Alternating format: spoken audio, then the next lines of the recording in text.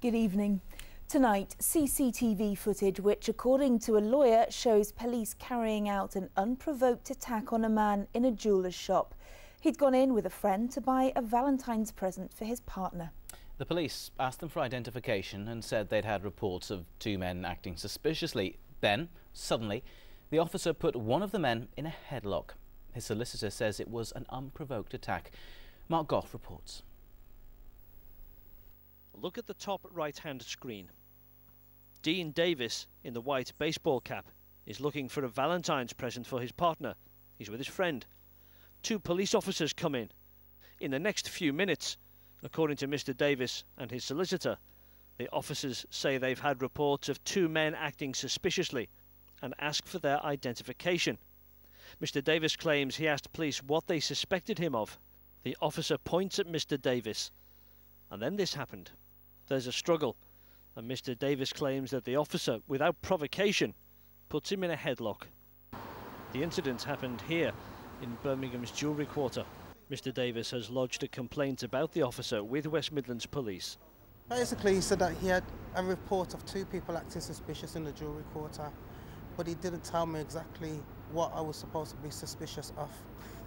Got to be at least four or five officers, and while he had me in a headlock, I could just feel other officers gripping me by my arms, my legs, and pushing me down on the counter in the jewellery shop.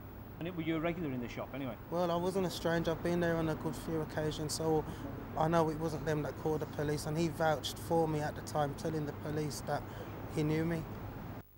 Mr. Davies's solicitor believes what happened was unlawful. We suggest that, firstly, the uh, uh attempt to detain Mr Davies is entirely unlawful, that he has been assaulted, and the fact that he's then taken out of the shop in handcuffs, held in a van, uh, searched, uh, generally humiliated, uh, amounts to an unlawful detention.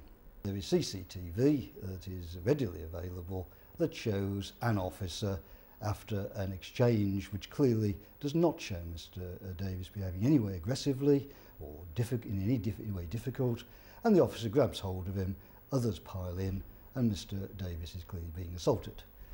This happened in February. West Midlands Police is examining the complaint. Mr Davies's solicitor, who believes the officer should be investigated for assault, says a charge for common assault must be brought within six months.